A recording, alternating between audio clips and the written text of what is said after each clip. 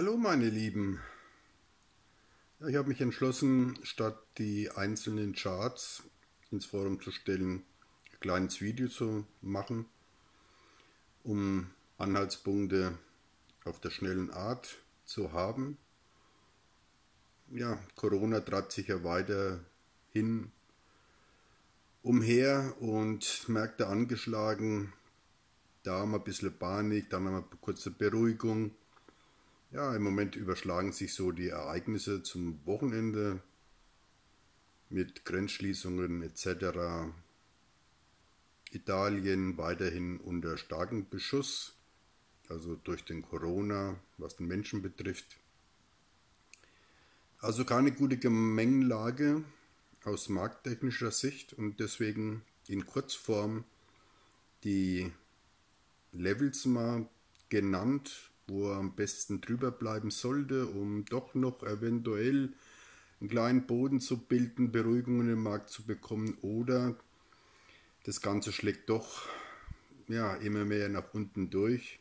Da muss man auf alles bereit sein im Moment und dementsprechend aufpassen, mit größeren Positionen am Markt zu agieren. Aber ich denke, das wird er mit Sicherheit im Griff haben, haben wir ja lange darüber diskutiert. Wenn sowas dann eintreffen sollte, oder beziehungsweise damit, dass man eben rechnen muss in dieser Konstellation. Aber nun zu den einzelnen Gesichtspunkten aus meiner Sicht. Wir haben ja diese Aufwärtsbewegung in verschiedenen Trends eingezeichnet im Chart. Und zwar den Korrekturtrend dieser Aufwärtsbewegung, den haben wir jetzt natürlich nach unten rausgenommen. Der lag so in etwa bei 10.224 und jetzt sind wir in den mittelfristigen Trendkanal rein und der liegt in etwa bei knapp 8.523. Somit die Wochenverlaufstief des Jahrestief sind wir noch ein paar Punkte davon entfernt, aber in diesem Trendkanal befinden wir uns. Das würde jetzt aus dieser Sicht der Dinge natürlich solange unter, äh, unter 10.225 könnte es natürlich unten ausgereizt werden, sprich 8.512. Fallen wir dann sorry, unter dem mittelfristigen Trend, also unter die 8512 per Tagesschluss oder Wochenschlusskurs, dann eröffnet sich natürlich das Potenzial nach unten Richtung den Haupttrend langfristig. Und der lauert so aktuell in den Bereichen 5700. Sollte man sich einfach mal merken und vorschreiben, solange, wie gesagt, es weitgehend unter, äh, unter 10.225 das Ganze abläuft. Darüber hätten wir etwas Entspannung und könnten Richtung 11.300, 11.400 laufen oder 11.500 so im maximalen erst einmal Rebound. Ob das dann so kommt, müssen wir aufpassen und deswegen kommen wir jetzt mal zu den aktuellen Blanko-Zahlen. Und die belaufen sich aktuell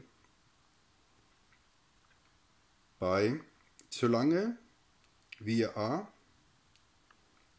unter, müssen wir mal kurz schauen, unter 9667 uns bewegen, es danach unter 9432 geht, wären Anlaufziele bei 9270 zu vermuten. Somit, also aus dem Reglement für Montag Intraday, Solange wir aber über 9270 bleiben, hätten wir Anspruch auf 10.101 bzw. 10.278. Des Weiteren kommen, kommen wir aus dem Intraday vom Freitag. Dann ist es die Kombination 9270 gepaart mit der Unterstützung 9218. wäre in dem, in dem Falle eine Kreuzunterstützung. Deswegen die 9270, 9218 genauer anschauen. Sollte der Markt darüber halten können, wäre es eine Möglichkeit, in Long einzuswitchen. Darunter wäre Vorsicht angebracht, unter 9218 mit einem SSK Stundenschlusskurs oder ein Tagesschlusskurs sogar darunter, wäre es noch negativer. Und es könnten die nächste Unterstützungszonen dann quasi angelaufen werden, die im Bereich 9100 zu finden wären. Und kritisch wäre es ein weiterer Schlusskurs unter 8968. Da eröffnet sich das Potenzial Richtung den Jahrestiefs oder dementsprechend Richtung 9512. So im groben Überblick. Schauen wir uns das Ganze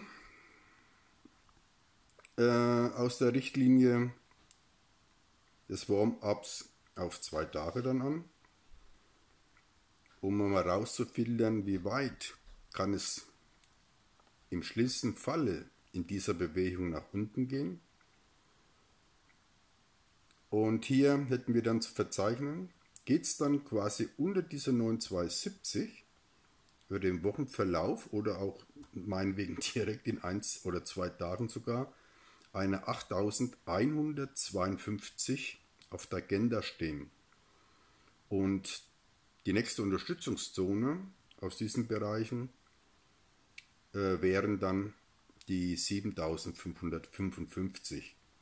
Aber wie gesagt, aus den Kennzahlen heraus äh, momentan bei 8152 und das wäre dann rein theoretisch hier die Möglichkeit, Schluss zu sein, um die Möglichkeit nach oben uns zu erarbeiten. So, das nächste, wo wir nochmal schnell drauf schauen werden, ist äh, die Möglichkeit in der Bewegung. Wie sieht es hier aus? Aus der letzten Woche heraus haben wir die sogenannte 8605 fast erreicht. Weil man mit 8821 bedient. Hier wäre natürlich die Möglichkeit, sollten wir jetzt seit dieser Jahrestiefs nicht mehr rausnehmen können. Und die Märkte beruhigen sich etwas, würde ich sagen, äh, der Markt kann bis in den Bereich 11.475 vorstoßen und von da aus das Spiel wieder weitertreiben je nachdem, wie gesagt, Corona einschlägt, dauert das Virus. Umso länger sich es natürlich hinauszögert, umso schlechter ist es.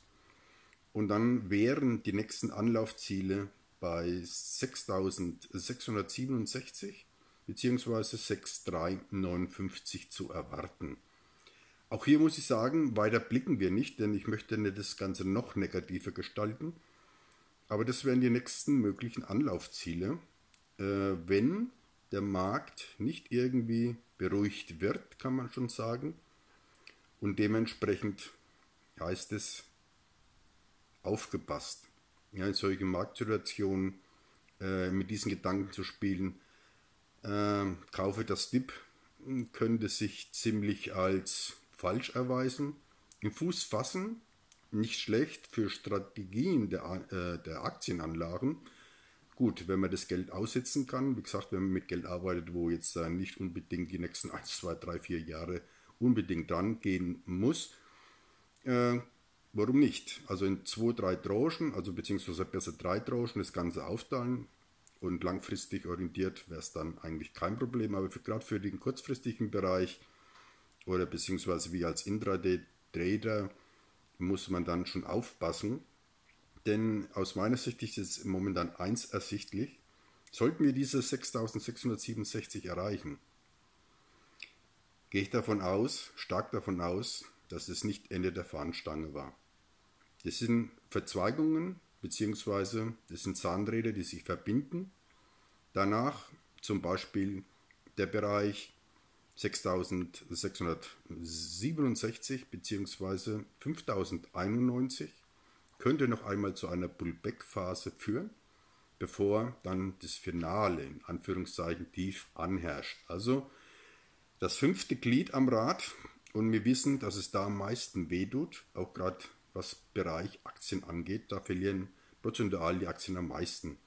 Also Bereiche 6667 genau beobachten oder 5091, je nach Dynamik, die jetzt entstehen kann. Sollten die aufleuchten, äh, nur nicht voll investieren, gerade in Aktienanleihen, äh, Aktienanleihen, Aktienpapiere. Es wird eine Pullback-Bewegung geben, aber man muss davon ausgehen, dass wir möglicherweise danach Richtung 3,559 oder noch tiefer fallen könnten. Also in diesem Sinne, bleibt gesund und wir sehen uns beim nächsten Update, Schnell-Update, wenn es um wichtige Zahlen geht in diesem Umfeld. Also, bis zum nächsten Mal. Ciao.